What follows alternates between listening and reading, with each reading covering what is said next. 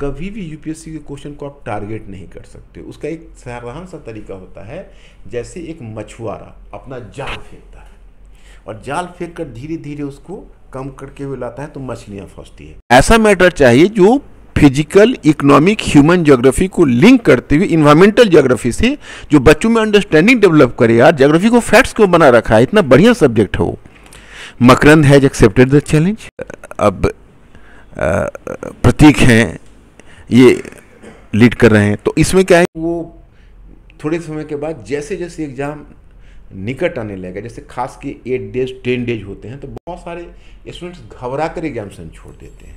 और छोड़ते इसलिए कि उनको लगता है कि अरे, हमें तो कुछ भी याद नहीं अब उनको फीलिंग होगी, दिमाग में कि मेरा दिमाग ब्लैंक है। हमें कुछ भी याद नहीं हम क्वालिफाई कर ही नहीं सकते।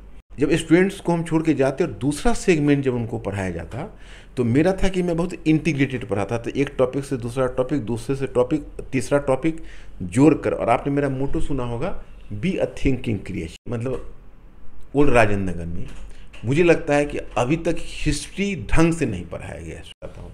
मैं क्यों नहीं थकता हूँ उसकी राज बताता हूँ।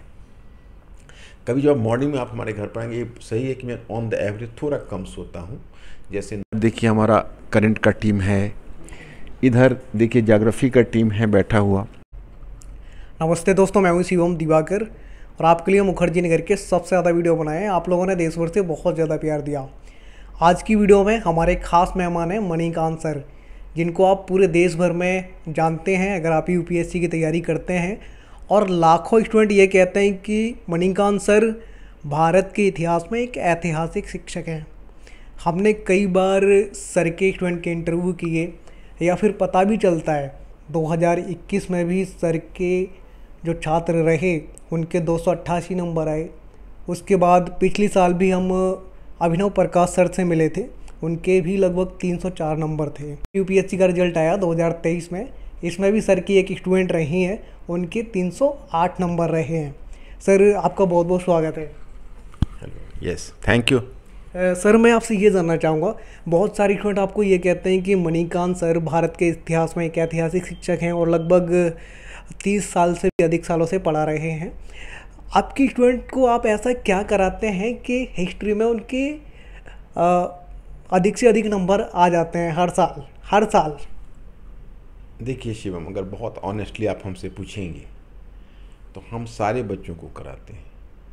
और हम जितना टाइम देकर और जितना सिस्टमेटिक सिस्टमेटिक तरीके से कराते हैं। हिस्टोग्राफी का नॉलेज देते हैं सोर्सेस का नॉलेज देते हैं, फिर उसके बाद उसको चेंजेज की पूरी अंडरस्टैंडिंग देते हैं। और शायद ही कोई ऐसा क्वेश्चन क्वेश्चन बैंक में नहीं हुआ जो मैं क्लास में डिक्टेट करके उन लोगों को लिखना नहीं सिखाता हूँ। और बहुत सारे स्टूडेंट्स ऐसा कहते हैं कि मैंने आपसे ही जनरल स्टडीज़ में भी लिखना सीखा। लेकिन उसमें कुछ हैं जो निकल जाते हैं। मैंने क्या कहा? सब्जेक्ट बहुत महान वो होता है, जिसको ज़्यादा दिग्गज स्टूडेंट्स मिल जाते हैं। तो उसमें क्या होता है? कुछ स्टूडेंट्स जो हमारे साथ रेसिप्रोकेट कर पाते हैं मतलब हमारी तरह वो भी मेहनत कर पाते हैं, उनमें भी एक जुनून होता है। जैसे आपने भी एक सवाल किया कि आप पहले थर्टी ईयर्स से पढ़ा रहे हैं।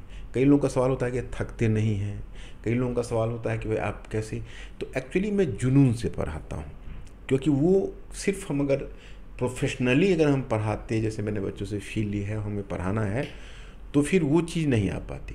हमने हिस्ट्री का पैटर्न ही पढ़ाने का बदल दिया है। जो हमारे स्टूडेंट्स हैं क्योंकि आप मेरे स्टूडेंट्स के बीच होते हैं तो आप किसी भी स्टूडेंट से पूछिए कि अच्छा मणिकांत सर का हिस्ट्री पढ़ाने का तरीका बाकी लोगों से अलग कैसे है? तो आपको बता देंगे वो। हम उनको चेंजेज का नॉलेज देते हैं। हिस्ट्री के बारे में बहुत बड़ा मिथक है। जैसे अभी भी ओ आर एन में हूँ तो एक स्टूडेंट ने कहा कि, सर, हमारे कुछ सीनियर्स ने कहा कि, सर हिस्ट्री में बहुत सारा फैक्ट्स होता है। हमने कहा कि, देखो, ऐसा है कि ओ आर एन में मतलब ओल्ड राजेंद्र नगर में, मुझे लगता है कि अभी तक हिस्ट्री ढंग से नहीं पढ़ाया गया स्टूडेंट्स को। हम मुखर्जी नगर में थे, अब ओ आर एन में आ चुके हैं। अब ओ आर एन को बच्चों को हम बताएँगे कि हिस्ट्री फैक्ट्स नहीं है। History mother of all subjects इतना इंटरेस्टिंग है you will enjoy the subject तो हम उनको इन्जॉय करना सब्जेक्ट का सिखाते हैं। हम उनको बेस्ट से बेस्ट बुक हाँ सारे बुक्स पढ़ने का पेन मैं स्वयं मोल लेता हूँ। और उनको सीधा मैं नॉलेज ट्रांसफ़र करता हूँ। कि देखो इस हिस्टोग्राफी का नॉलेज देता हूँ। तो उसमें जो कुछ अच्छे बच्चे होते हैं निकल जाते हैं। वो भी उनका भी भाग्य थोड़ा मेरा भी भाग्य। अब तीन साल तो लगातार कॉन्जिक्यूटिव वास्तव में लेकिन अब अगला साल क्या होता है इसकी हम भी गारंटी नहीं दे सकते। मैं आपसे ये भी जानना चाहूँगा जैसे मैं ग्राउंड पे बहुत सारे स्टूडेंट से मिलता रहता हूँ बातचीत करता हूँ। आपकी हिस्ट्री ऑप्शनल की तो बहुत ज़्यादा डिमांड होती होती है। आपसे स्टूडेंट बहुत सारे ये भी डिमांड करते थे कि सर जीएस फाउंडेशन भी लेकर के आओ। लेकिन आपने मुझे पता चला है कि ओआरएन में लगभग ये शुरुआत कर दी है। इतना लेट क्यों? मैं पहले बताऊँ शिवम कि हमने ओआरएन में ही नहीं, हमने मुखर्जी नगर में भी शुरुआत की है। और इतनी लेट शुरुआत हमने क्यों की, इसकी वजह बताता हूँ कि पहले मैं जीएस में हाथ नहीं डालना चाहता था। ये बहुत डिफ़िकल्ट और चैलेंजिंग काम था, क्योंकि अब तक तो हिस्ट्री में खुद मतलब पढ़ाता था तो मैं आज तक थर्टी ईयर्स में एक टॉपिक के लिए मैं किसी और टीचर को नहीं जोड़ा और ना आज जोड़ पाऊँगा। पढ़ाना छोड़ दूँगा, किसी को जोड़ नहीं पाऊँगा। अगर मैं, हालाँकि मेरा मोटो है, मैं आपको बताऊँ कि लास्ट सांस तक पढ़ाना तो शायद मैं मुझसे छूटे ही ना, लेकिन हम किसी को जोड़ नहीं पाएँगे। जनरल स्टडीज़ में क्या है कि ग्रुप ऑफ़ टीचर को मैनेज करना है तो बहुत दिनों तक मेरे दिमाग में असमंजस चले कि मैं क्या करूँ। तो मैं कई इंस्टीट्यूट से जुड़ा हुआ था तो उसमें हिस्ट्री का पार्ट पढ़ाता था। तो मतलब जाती थी एक दो इंस्टीट्यूट ऐसे थे जिनसे हम, हमने सोचा कि चलो ऑप्शनल हमारा द स्टडी है और जीएस के लिए हम ठीक है, कोई ना कोई रूप में मार्केट को में हम कंट्रीब्यूट करते हैं। तो एक एक इंस्टीट्यूट से, फिर एक इंस्टीट्यूट से मेरा एसोसिएशन रहा। अब वहाँ होता क्या था कि मैं जिन जब हिस्ट्री का पार्ट में पढ़ा लेता था नॉर्मली हमसे ही क्लास स्टार्ट होता था। तो हिस्ट्री का क्लास जब मैं कर लेता था कवर कर लेता था तो फिर जब स्टूडेंट्स को हम छोड़ के जाते और दूसरा सेगमेंट जब उनको पढ़ाया जाता तो मेरा था कि मैं बहुत इंटीग्रेटेड पढ़ाता था। एक टॉपिक से दूसरा टॉपिक दूसरे से टॉपिक तीसरा टॉपिक जोड़ कर और आपने मेरा मोटो सुना होगा बी अ थिंकिंग क्रिएशन हाँ सर ये मैं जैसे मुखर्जी नगर देखता हूँ या ओल्ड हाँ, राजेंद्र हाँ, नगर वहाँ पे बड़ा था कहीं आप अगर आपका होर्डिंग बोर्ड दिखता है वहाँ ज़रूर नीचे लिखा रहता है। बिल्कुल बिल्कुल। ऐसा क्यों होता है मैं आपको बताता हूँ। जैसे यूपीएससी जैसे आपने कभी फिशिंग होते हुए देखा होगा कभी मछली का जाल पकड़ते हुए देखा होगा तो कभी भी यूपीएससी के क्वेश्चन को आप टारगेट नहीं कर सकते उसका एक साधारण सा तरीका होता है जैसे एक मछुआरा अपना जाल फेंकता है और जाल फेंक कर धीरे धीरे उसको कम करके हुए लाता है तो मछलियाँ फंसती है। तो उसी प्रकार से बच्चों को एक वाइडर प्रव्यू देना पड़ता है और वहाँ से फिर क्वेश्चन निकल के आते हैं। तो हिस्ट्री में तुम्हें एक कर देता था, जब दूसरे ऑप्शनल जब दूसरा जनरल स्टडीज़ के पार्ट में वो जाता था तो बराबर उनका कंप्लेन आता था मेरे पास कि, सर, वो मज़ा नहीं आ रहा है। वो हमने आपसे सीखा क्वेश्चन पर बातचीत नहीं हो रही है। बिल्कुल जैसे तैसे पढ़ाया जा रहा है। तो बहुत दिनों तक असमंजस मैं अपने मैडम से भी, चूँकि वो हर चीज़ में मैं उनसे एडवाइस लेता हूँ तो मैंने उनसे भी बात की, अपने बच्चों से भी बात की। बहुत समय तक मुझे हिम्मत नहीं पड़ी कि बहुत मेहनत का काम होगा। अच्छी ज़िंदगी कट रही है, इतना पेन क्यों मोल लिया जाए? अंत में एक अंदर से ये आया कि चलो, इस फ़ील्ड में अब हमने इतने दिन तक पढ़ा है। अब कुछ लेगेसी छोड़ के जाना है। तो लेगेसी यही हुई कि अगर हम पैराडाइम शिफ्टिंग जीएस में कर दिया, हिस्ट्री में तो मैंने एक ग्रुप ऑफ़ स्टूडेंट्स को किया, जो जो बच्चे मेरे जॉब कर रहे हैं, वो भी याद रख रहे हैं, जो भी क्लास कर रहे हैं, उन्होंने भी याद रखा है। लेकिन अगर हमने जीएस में ऐसा कर दिया तो एक हम अपनी लेगेसी छोड़ के जा पाएँगे। अब तक जनरल स्टडीज़ का मतलब होता है खूब टीचर कहीं से भी जैसे आप मान लीजिए क्लास स्टार्ट करना है तो अब उस बच्चे का भाग्य है कि वो जब कहीं इंस्टीट्यूट ज्वाइन करता है अगर उस संस्थान में चूँकि उसकी भी मजबूरी होती है अपना संस्थान चूँकि प्रोफेशनल होते हैं एक्सपेंडिचर भी काफ़ी बढ़ गया मैं उन, उनको भी ब्लेम नहीं करता लेकिन उसके शिकार बच्चे हो जाते हैं, वो मैं आपको बताना चाहता जैसे अब साइंस टेक का टीचर खाली रहा तो उस बच्चे को साइंस टेक से ही शुरू हो गई अब एक बच्चा उठ के गाँव से आया है, जैसे तैसे बेचारे ने ग्रेजुएशन किया है, एक उसकी बदकिस्मती यह रही कि वहाँ पर भी उसको ग्रेजुएशन तक नहीं पढ़ाया गया। खाली दिमाग अचानक से साइंस टेक और जैसे वो टकराता है तो उसका सारा यूपीएससी पढ़ने का जुनून ही समाप्त हो जाता है। तो हम उसमें एक नए पैटर्न पर, आपने देखा होगा एक पैराडाइम शिफ्टिंग का नारा दिया है कि एक पहले टॉपिक को दूसरे टॉपिक से जोड़कर और एक सेगमेंट को दूसरे सेगमेंट से जोड़कर उसको अंडरस्टैंडिंग बनानी है। मेंस और प्री की साथ तैयारी करानी है। टाइम टू टाइम टेस्ट लेना है। तीन स्टेज का हमने इसलिए उस कार्यक्रम को रखा है। Basic foundation advance foundation and super stage ये तीन हमने चरण में बांटे हुए हैं। ताकि स्टूडेंट्स का पैराडाइम शिफ्टिंग कर सके। और टीचर्स को भी हम उसी लाइन पर, जैसे हम आपको कंटेंट डेवलपमेंट में अपनी टीम को दिखाते हैं, मैं आजकल क्या है कि पिछले सेवन टू एट मंथ से मैं एक क्लास केवल मॉर्निंग में लेता हूँ मुखर्जी नगर और सेवन टू एट मंथ से मेरी रूटीन ये है कि मैं अपने उसी कंटेंट टीम के साथ काम करता और उन सबको एक खास पैटर्न से तैयार करवा रहा हूँ जो मेरा कंटेंट वो मार्केट से जब निकल के आएगा तो मार्केट के पैटर्न से अलग होगा। और हमारे जो टीचर्स पढ़ाएँगे, वो भी टीचिंग का पैटर्न अलग होगा, क्योंकि मेरा बैच स्टार्ट हो रहा है ट्वेंटी सिक्स जून से, लेकिन सारे टीचर्स को हम फ़र्स्ट जून से जोड़ रहे हैं। और twenty two twenty five days हमको अपने टीचर्स के साथ काम बिताना है। अभी मैं अपने कंटेंट टीम के साथ बिता रहा हूँ। सर बहुत सारे स्टूडेंट ये जानना चाहते हैं कि जो मणिकांत सर जो आपने शुरुआत में ही बता दिया कि बहुत सारे स्टूडेंट ऐसा कहते हैं कि थकते नहीं हैं सर की एज काफ़ी ज़्यादा हो जाता हूँ। मैं क्यों नहीं थकता हूँ उसकी राज बताता हूँ। कभी जब मॉर्निंग में आप हमारे घर पर आएँगे ये सही है कि मैं ऑन द एवरेज थोड़ा कम सोता हूँ। जैसे नॉर्मली मैं ट्वेल्व ओ क्लॉक सोता हूँ छः बजे सवेरे उठ जाता हूँ उसके बाद फिर मेरा दिमाग एक्टिव हालत में ही होता है। तो अब बेड पर जाने पर अचानक से तो नींद नहीं आ जाती है तो मुश्किल से फाइव साढ़े पाँच से साढ़े पाँच घंटे का एवरेज मैं नींद सोता रहता हूँ। मेरा काम भी चल जाता है, उससे कोई प्रॉब्लम नहीं। आप मॉर्निंग में देखेंगे हमें तो जैसे सुबह नित्य क्रिया से निवृत्त होने के बाद जो आता हूँ तो मैं ट्रेड मिल्स पर जॉगिंग करता हूँ, दौड़ता हूँ। मैं जब दौड़ता हूँ तो उस समय कोई ये नहीं समझ सकता कि मैं एक एज पर्सन हूँ, मैं एक यंग की तरह दौड़ता हूँ और मैं पसीने से लथपथ होकर फिर उसे उतरता हूँ। तो मैं उतना ही यंग अपने आप को फील करता हूँ जितना कोई यंग व्यक्ति फील करता है। हमको आज तक कभी शरीर में वीकनेस फील ही नहीं हुआ। यही सर राज्य है कि हर साल आपके यहाँ से हिस्ट्री में इतने अधिक नंबर आ जाते हैं। आज ही नौशीन आई थी। सर कैसा फील होता है जब आपके स्टूडेंट पढ़ने के बाद आते हैं आपसे मिलने के बाद? और इतना हाईएस्ट स्कोर लेके आगे और भी बेहतर होने जाएगा क्योंकि आपने देखा है कोल वाक सेंटर हमने डाला है। अब तक इंग्लिश मीडियम वालों के साथ क्या होता था कि मैं उनको ऑनलाइन ही हेल्प कर पाता था। वजह क्या है कि मैं मुखर्जी नगर में था और वहाँ इंग्लिश मीडियम का माहौल नहीं था। तो हम वहाँ इंग्लिश मीडियम का सेपरेट बैच अगर स्टार्ट करते छोटा सा बैच बनता। और हम इंग्लिश मीडियम में इक्वली करना चाहते थे। तो उसमें हमने उस रिकॉर्डेड वीडियो से वो जो मेरा आपने अभिनव जो देखा था अपने स्टूडेंट तो वो भी ऑनलाइन का मेरा स्टूडेंट था। और यह भी मुझसे ऑनलाइन ही हेल्प ली थी किसने? लेकिन अब मैं चूँकि आ, आ चुका हूँ। ओ आर एन में तो अब हमारा ऑफलाइन का डेट आ चुका है। ऑफलाइन शुरू होगा।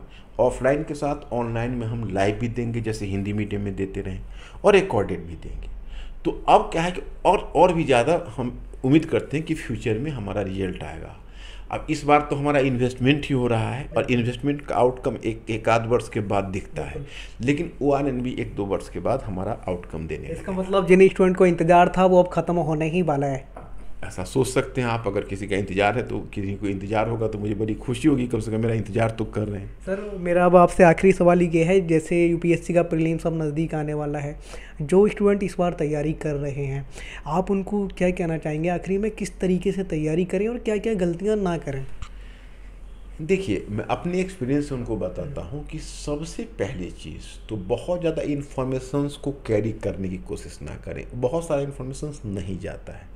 उनका कॉन्फिडेंस लूज करवा देगा। अब कोई नई चीज़ पढ़ने की तो बात रही नहीं क्योंकि अब बहुत मतलब अब ये कौन सा मंथ अब तो अब समझ सकते हैं कि जस्ट लास्ट गिनती शुरू है। तो अब वो अपनी जो पढ़ा हुए पढ़ी हुई चीज़ को कॉन्सोलिडेट करें?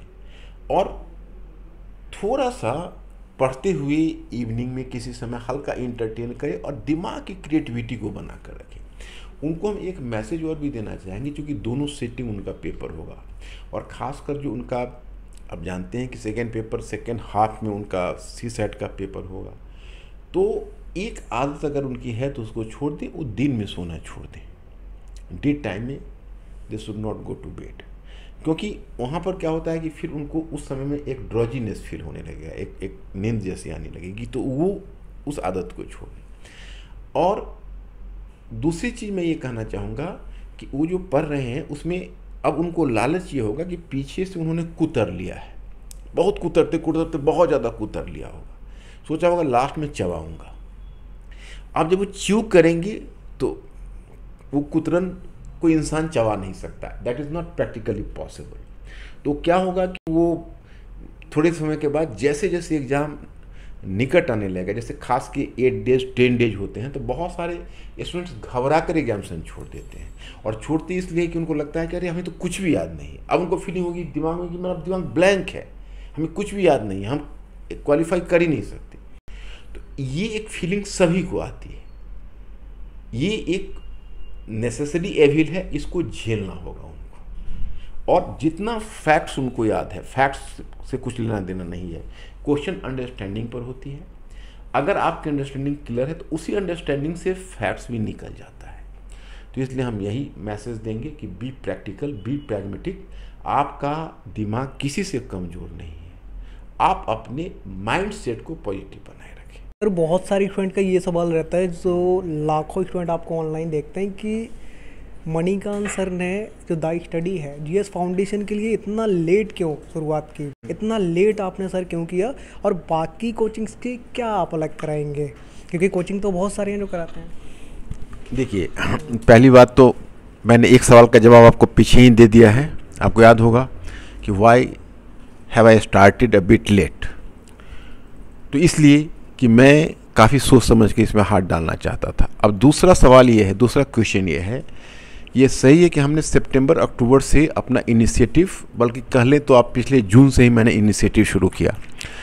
नॉर्मली कोचिंग इंस्टीट्यूट में एक कल्चर ये है कि डिसाइड करिए बैनर टांगिए और बस आप बैच स्टार्ट का एक डेट दे दीजिए और शुरू हो जाइए।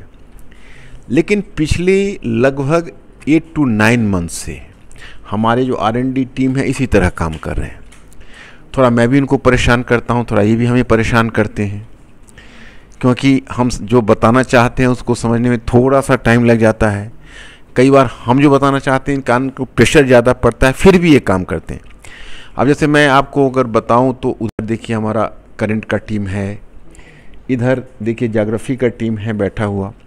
तो वो सब क्या है कि इसमें इस तरफ़ मीडिया का टीम है और सब अपनी अपनी जगह पर काम कर रहे हैं। और हमारा जो मैटर है, उसका स्लोगन और मोटो ही अलग है कि to be a thinking creature तो यहाँ पर हमारा स्टडी मेटेरियल उसी लाइन पर बनना है, जिस लाइन पर टीचर को पढ़ाना है और मेंटर को उसी लाइन पर काम करना है।